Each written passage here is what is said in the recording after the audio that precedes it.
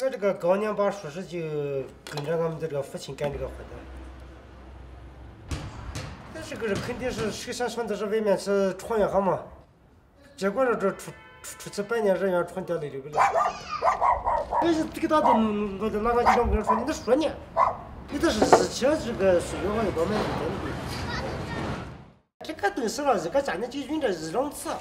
你说这是有的人还是这个相当入神的。我有的人我说这生意这一个，这放的方向不对，咋长进短，可是，啊，可是想想是推生意呢，其实这个东西还是，其实它是就是个木头。